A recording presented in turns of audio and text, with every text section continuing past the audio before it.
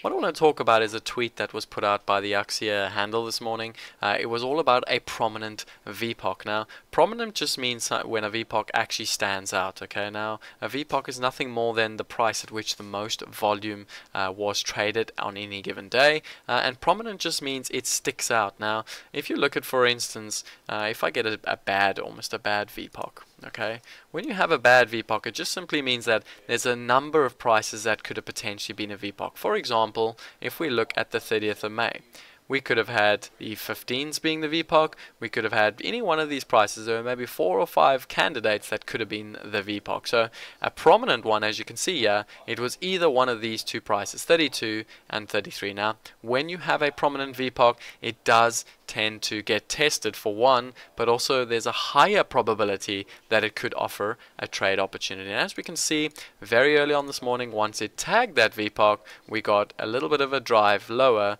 uh, and that's when the break, or that's where the break uh, came from. So let's go have a look at the ladder now and let's actually watch uh, you know what this uh, would have looked like in uh, real time.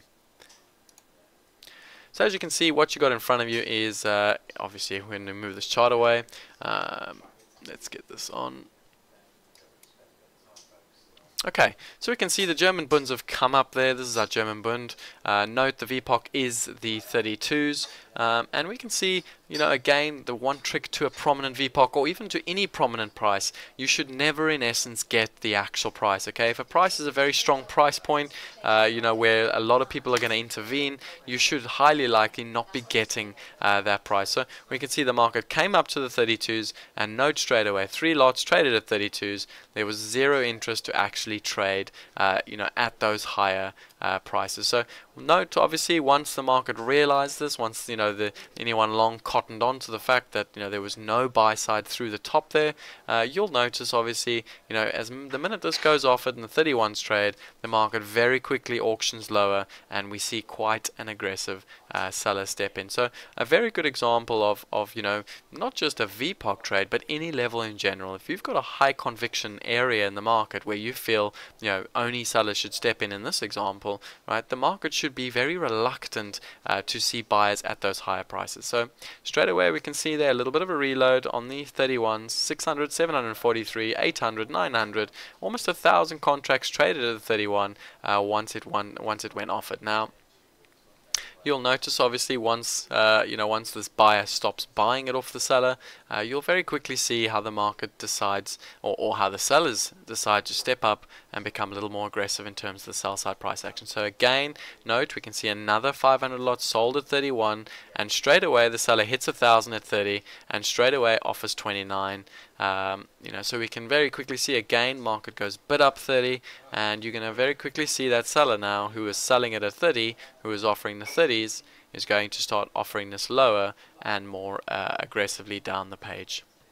So again reload the 30 and straight away offering the 9s and we're going to see this sort of price action the whole way down where we get you know a reload or a seller reloading the higher price and the minute he doesn't get that buyer buying it off him he hits the next best price so this is very, very typical around very good levels. Uh, again, only caveat, do note, it is roll week. Okay, so traditionally uh, in the roll week, price action tends to be a little bit more confusing, uh, and, and that's important to understand as well. So again, note obviously, uh, straight away seller hits 29s. Uh, we can see no one buying now, no more counter bid, uh, and this is where it becomes interesting. So the minute we see that counter bid disappear, that is when the seller steps up the selling okay and that that makes a lot of sense yeah, because you know if you're a seller looking to get a big position done you're not gonna you're not gonna sell aggressively while someone's still buying it from you um, so again we can see there the buyer lifts back on the nine so the seller's still getting what he wants um, and so long as there's someone still buying it from him he's not going to be aggressive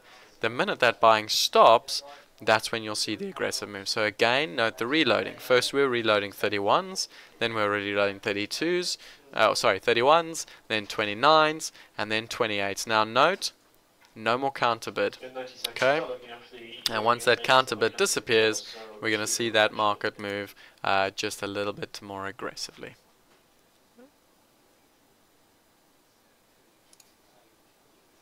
Okay, and 27's trade. Again note now earlier on we had a buyer lifting a thousand lots at 30 uh, 31 then 800 lots at 30 a little bit less at 29 and now he's lifting a mere 100 contracts uh, at 28 so we can really see uh, you know the seller here uh, gonna start becoming a little more intentional uh, he's gonna try and get his uh, his uh, order done a little bit quicker so again, straight away, hits the sevens, reloads the sevens, hits straight into the sixes.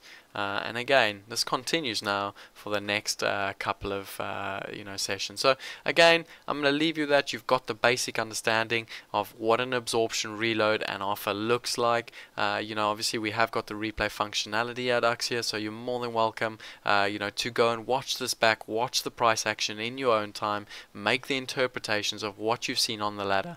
But the basic understanding is that at higher prices, we could see a very aggressive buyer uh, and the seller intentionally taking the offer and he took it all the way down. And once that buyer stopped buying and he gave up buying, we then saw the seller become a lot more aggressive and that happened to be the top of the session.